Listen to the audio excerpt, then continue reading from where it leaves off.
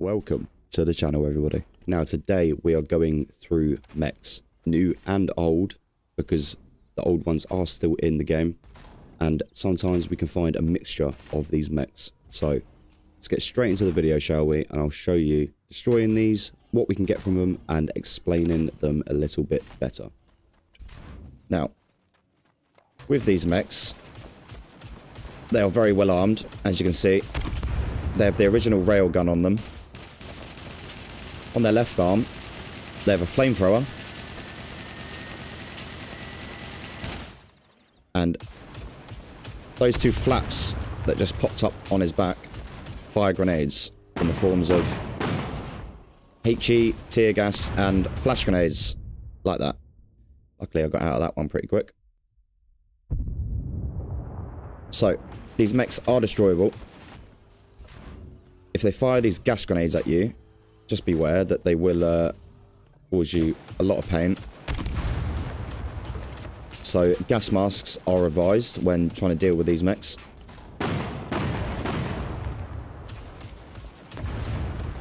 There goes the HE grenades and tear gas.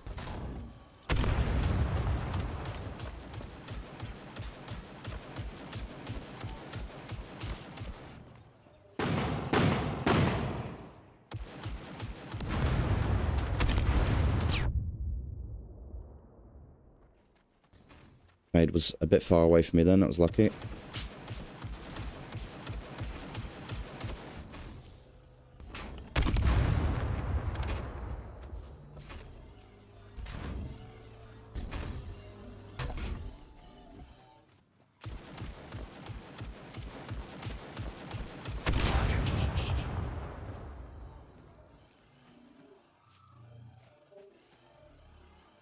There you have it.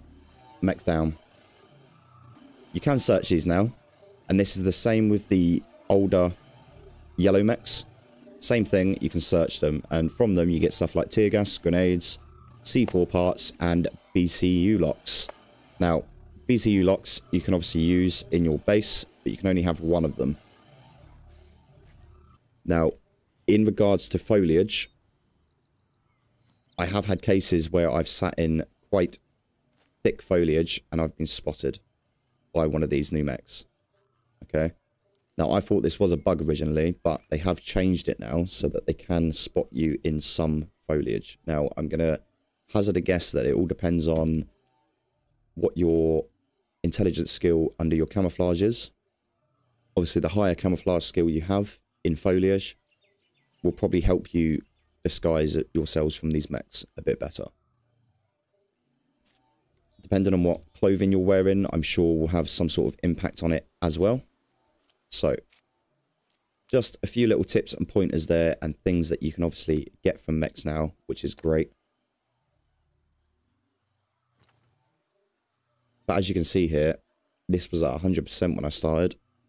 And we're now at 37% taking one mech down. So, again, be careful of how much you're firing and if you've got weapon repair kits on you, if you're going for a big, you know, raid of these mechs, you know, go and kill three or four of these mechs and you, you've got quite some decent loot here from them. So it's decent. You may as well try it if you've got firepower to do it. Obviously, you get tear gas grenades. And we get things like this. So, as you can see, standing in tear gas like this will give you visual effects like this also means that you cannot sprint. You're also a bit wobbly and off foot. And you're getting double vision, blurred vision. Quite bad. As we can see if we look in our health bar. Blurred vision, disorientation, bloodshot eyes, and double vision from tear gas exposure.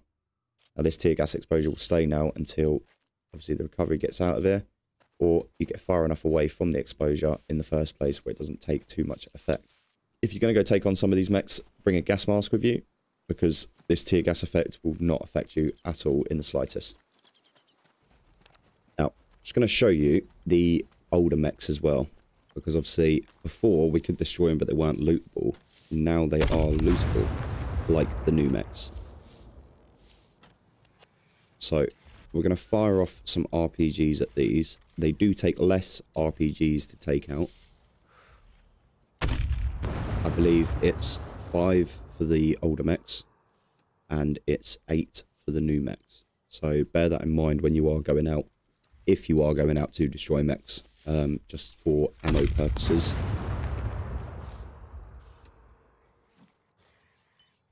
As you can see, when you hit these mechs, it temporarily stuns them.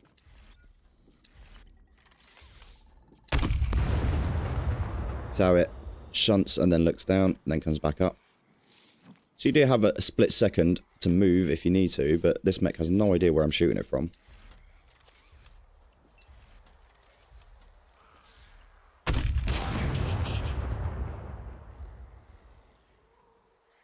As you can see, that yellow mech is now down.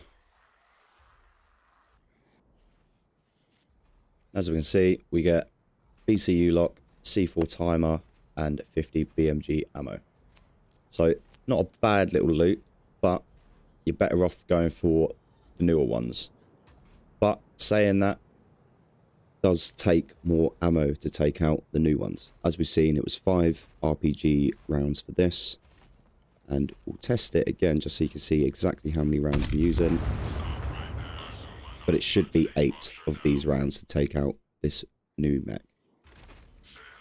So again, depending on your playstyle, depending if you have the firepower to do this, if taking out mechs is something that you want to do to get the BCU locks and C4 stuff, or just 50 BMG ammo, obviously you can do it now by taking them out. You can use other stuff like the AT4s and uh, grenade launchers, things like that. But again, you're going to need to test how much ammo you're going to need. So let's just keep shooting these rockets. That tear gas has uh, affected us quite badly. But we do have God mode on, that's why we're not taking damage, if anyone was wondering why I'm still alive for all this. Just for the purposes of the video, I put God mode on. Obviously so I don't die, so I can test these features for you. Now, another little thing, if it will do it. here we go. So it goes into a stance and you see this railgun come up. Now, like that, if you hit it with an RPG, like I just did, it stops the motion of the railgun from performing.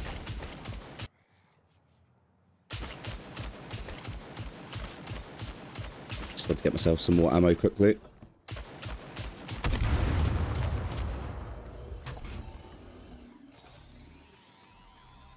Ooh, that's interesting.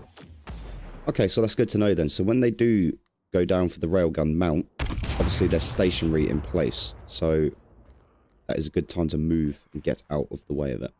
So this one's down as well, and that was eight rockets. So we discovered the old mechs take five RPG seven rockets, and the new mechs take eight RPG seven rockets, which is good to know for all of you players that want to go out and loot these up, because from the new mechs you'll get in slightly better loot than what you do from the older mechs. But as you can see, if you want a BCU, go take one of these down if you've got the firepower for it. Again, this is probably going to cost you if you're buying RPG stuff. Um, so you've got to sort of tally up if it's going to be worth, you know, the cost of the RPG and the ammo to get what you're getting from a mech. But just a little tip guide video for you around mechs, just going through them, what you can get from them, and how to take them out easily. So, obviously, BCUs are going to be good for you if you want one bear in mind you can only use one per base. But thank you for joining me today. If you enjoyed the video, give it a like, hit that subscribe button. I'm trying to hit 1,000 subscribers by the end of this year. And also that notification bell so you stay up to date with all the latest Scum news and other Scum content on my channel. Until the next one, see ya.